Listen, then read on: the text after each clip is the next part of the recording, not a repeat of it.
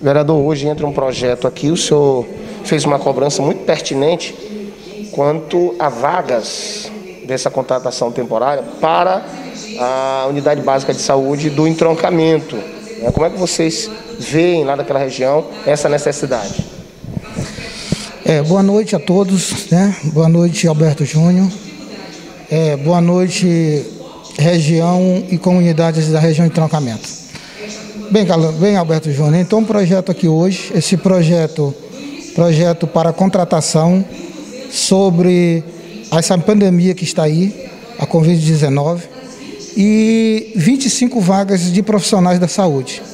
E o mais que me chamou a atenção, porque para cada localidade foi uma, duas, três, quatro, cinco vagas, mas o que me chamou a atenção foi para a região de entroncamento não ter nenhuma vaga.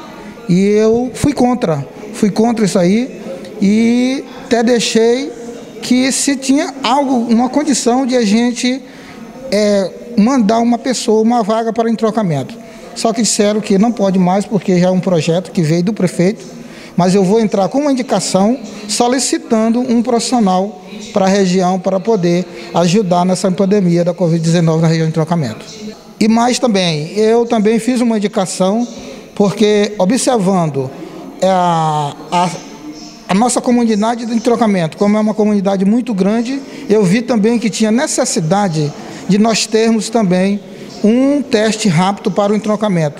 Aí eu solicitei através de uma indicação para me conseguir para conseguir uma sala ali no, no, no OBS de, de, Maria Lúcia Cavalcante para esses testes rápidos. Por quê?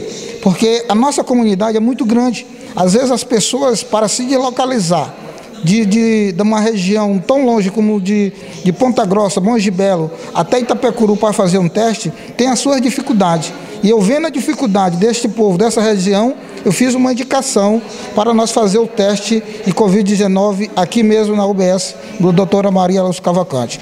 Vamos pedir a Deus que o prefeito também venha, venha nos atender esse pedido respeitosamente esta a comunidade de entroncamento e venha colocar um teste também para nós, para nós fazer os testes das pessoas aqui em trocamento.